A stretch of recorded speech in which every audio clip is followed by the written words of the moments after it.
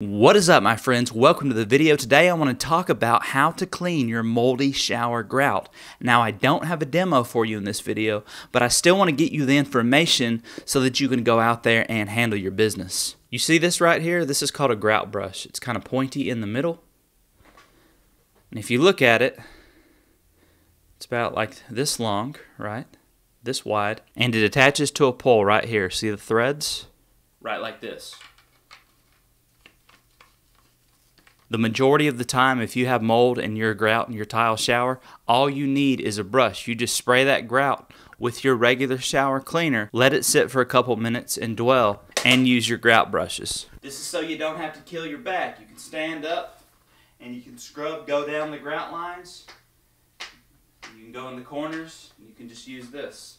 Here's another grout brush I use. This is a little handheld grout brush. So if you're standing up and you don't have a lot of elbow space, you can't, you know, use your pole, you can just use this. You can go up and down the grout lines with your grout brush.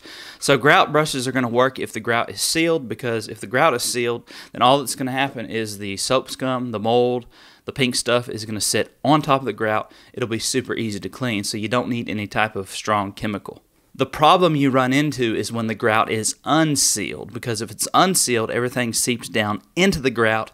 That water gets down in there, dwells, and then creates your black mold. If that is the problem you're having, you have black mold down in that grout. As of right now, this is the best cleaner I found to work. Clorox Mold and Mildew Remover. I buy the gigantic jug because I'm in the cleaning business, so I buy it in bulk and then I just fill up the bottle. So all you do to remove that mold is just spray it with your Tilex, let it sit for 10, 20, 30 minutes and dwell, and it's going to kill and eat away at that mold. And then you just come through, you can come through, you know, with your grout brushes, and then you just rinse away thoroughly.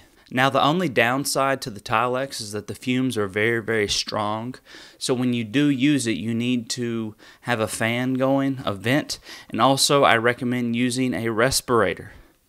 So, this is it right here. I will leave these products listed and linked down below for you, but it's real simple. Here's your headband, just goes on your head so the respirator is very handy if you decide to use this product. Also, before I end the video, I want to talk about caulking. So if you have mold that's built up in caulking, you know, the white caulking or the clear caulking, this method will clean the mold if the if the mold is on top of the caulking. If you have mold inside the caulking or underneath the caulking, then it's not going to work. You have to rip it out and redo it.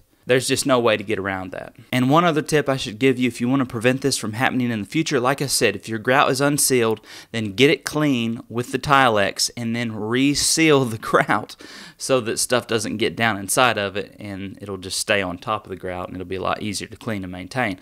Also, to prevent mold from forming in your bathroom, make sure when you take your showers, run the vent, run a fan, and also when you're finished with your shower, leave that shower door open so that the moisture can get out of the shower. I know it looks a lot nicer to close the shower door because that's the way it's designed for it to be closed, but that traps moisture and that's what creates that mold. So make sure you leave your shower door open after you finish cleaning your body. With that being said, my friends, thanks so much for checking out the video. That is how to clean moldy shower grout. I'll see you in the next video.